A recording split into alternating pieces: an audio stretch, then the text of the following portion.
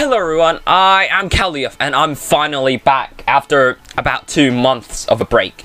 And uh, this time it is my first impressions of, of course, the new uh, 2021 Season 1 uh, brand new GT3 car, the Lamborghini Huracan GT3 Evo. And you know what, I this car definitely surprises me. Of course, this season it will be used in IMSA and VRS, which is basically, again, the very popular series. Before the video begins, this channel is all about iRacing guides, tutorials, gameplay, special events, and sim racing gear review. Please leave a like, subscribe to my channel, hit the notification bell, and share this video with your mates. But let's stop talking and get straight into it.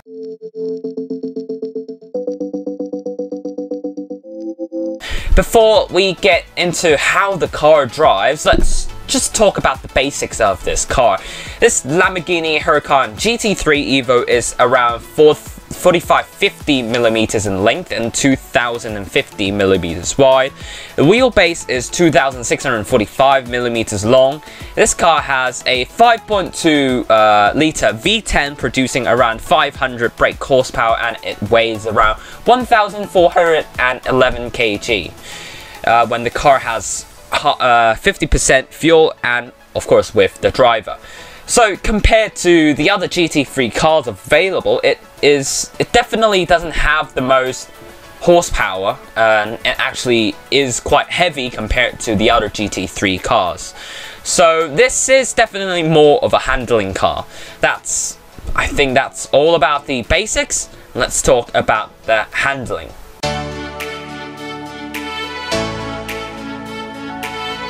So, first of all, let's talk about how the car feels when you drive it. Uh, first of all, um, understeer, oversteer. So when I'm driving this car, this car is just really responsive, quite pointy, and it doesn't wiggle too much. It doesn't have much oversteer, I noticed. Even when you put down the power, it doesn't really have oversteer. Um, maybe it has a tiny bit of understeer when you start to brake in and turning in, but that can be resolved uh, with a better braking technique.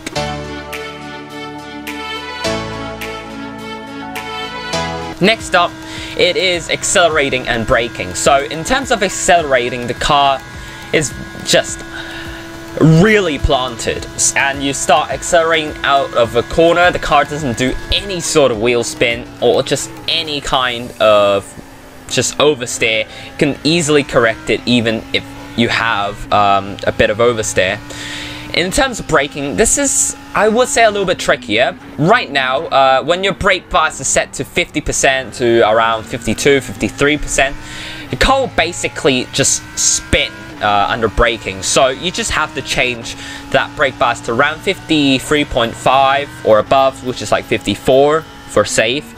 Uh, this issue will be basically eliminated. So apart from this issue, the car, again, it's just really stable under braking. Therefore, I would say it's quite easy to drive. Next, it is suspension, of course, and how it reacts to curbs. To be honest, the curbs are basically nothing for this car. It really is nothing. Uh, when the Lambo run over the curbs, the car is so stable. Really, I told you, this car, it is a handling car. And uh, so you can accelerate really easily and that's why you don't get wheel spin, you don't get oversteer because it absorbs the curbs, the energy is so good and yeah, it, it, it's so planted. So, it is, is it easy to drive on a scale from 1 to 10, from which 1 is of course the easiest and 10 is the hardest? Honestly, 1 really. This car is really, really easy to drive. It's basically probably easier than the Ferrari 488 GT3 or just level pegging with the Ferrari GT uh, 488 GT3 and if you compare it to last season with the Chevrolet Corvette C8.R which I said it's pretty easy to drive this is actually easier than that car and it's so fun as well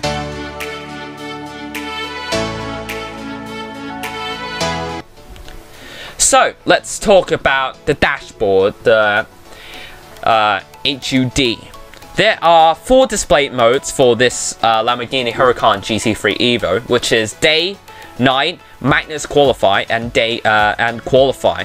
So day and night mode is basically the same with just only the difference being the background color being white and dark gray or just dark color respectively. On the top left, uh, top left we got the traction control, engine map, throttle shape, and then we got it shows you what gear you're in. Next it is some just I don't know some unchangeable numbers of the car and then right hand side of that we got the ABS of course. So further down we of course got the speed of the car as well as the RPM of the engine. A bit further down we got the current lap time and the delta at last, at the bottom row, we got different temperature indicators, uh, use of fuel per lap, and the fuel used overall. So, let's go to the Magnus quality mode uh, first. At the top is pretty much the same, just arranged in, I would say, a slightly different order, with and with the addition of the RPM there. Then a bit lower is the lap time, speed, and the delta. And a little bit further than, uh, down, it's uh, we have the tire pressures and the temperatures as well as the gear you're in. And at the bottom, it is the same as day and night mode with different temperatures and the fuel used. Last but not least, we have the quality mode. So at the top, it is same as the other modes. And then a bit further down, we of course got the lap time, speed, and delta, same as the uh, Magnus quality mode. And then a little bit further down, we have the tire pressures only. Uh, to differentiate from the tire pressures and temperatures uh, for the Magnus quality mode. And of course, we got the gear we're in. And at the bottom, this is the biggest uh, difference. So we have a, a, delta bar, so it can show you uh, where are you gaining or are you losing time very nicely.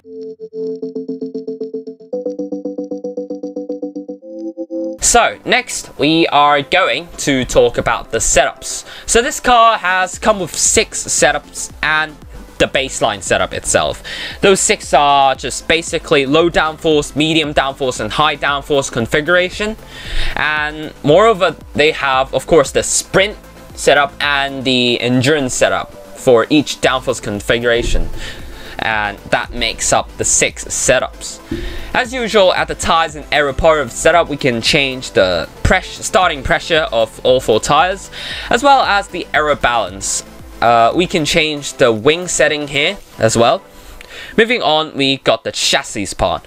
At the front, we got we can change the R blade, the outer diameter, a diameter toe in, front and rear master cylinder, and the and uh, the brake pads, of course. In terms of the in-car dials, we can, of course, change brake bias, traction control, throttle shape, engine map, ABS, and different lights. Just different preferences uh, towards yourself. Moving on, we can change the spring, perch offset, springs damping, camber, and caster at the front. While at the rear, we can change basically the same thing uh, as the front, except uh, we can change toe-in uh, instead of caster.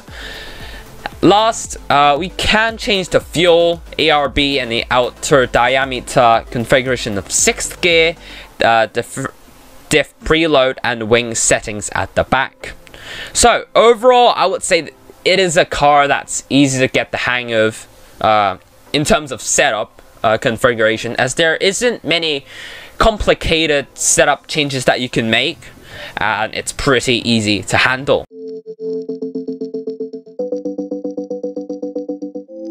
So, should you buy this car? Um, I don't think I need to say any more, to be honest. This car is... It doesn't matter when you're... Uh, whether you're a rookie or very experienced in iRacing. This car, you just love it. You just love it and you're gonna have fun with it 100%. It's so easy to drive and uh, it got different functions as well. Easy setup configuration uh, for rookies, of course. This is this car is basically definitely the go-to car. It's either this car or the Ferrari 488 GT3.